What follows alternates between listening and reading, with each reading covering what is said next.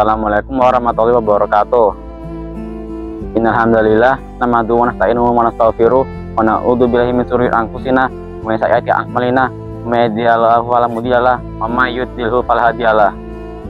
Asyhadu an la ilaha illallah wa asyhadu anna Muhammadan wa rasuluh. Pertama-tama pertama-tama marilah kita bacakan puji syukur kita atas kehadiran Allah Subhanahu wa taala sehingga kita dapat berpuasa di bulan ini.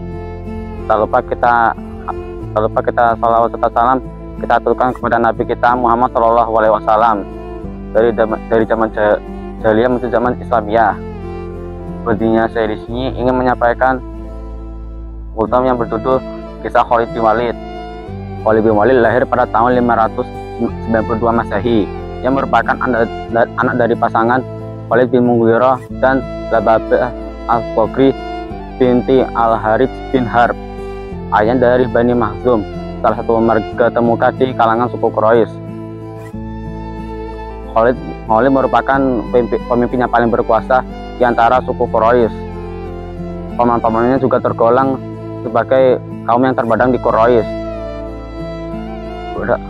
Ayahnya Khalid memiliki kebun buah-buahan yang terbentang dari Mekah sampai Taif. Berdasarkan silsilahnya ia bersaudara dekat dengan Rasulullah Shallallahu Alaihi Wasallam ini ini dikarenakan Sayyidah Maimunah yang merupakan istri Rasulullah Shallallahu Alaihi Wasallam adalah bibinya dari pihak ibu. Khalid bin Walid mengikuti perang Uhud.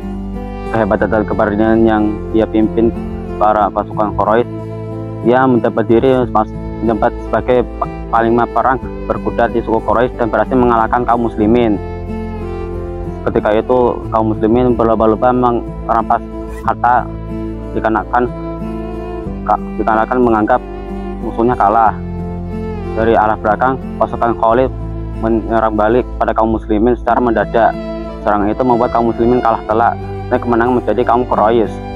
Setelah perang Uhud Khalid dinyatakan masuk Islam. Jabatan yang memperoleh masih sama seperti sebelumnya yaitu paling perang. Khalid bin Walid tidak pernah mengalahkan Rasulullah Shallallahu Alaihi Wasallam. Khalid bin Walid tidak pernah mengalahkan Rasulullah Shallallahu Alaihi Wasallam.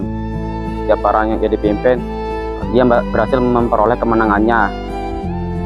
Prestasi tersebut kian hingga pada masa pemerintahan Abu Bakar.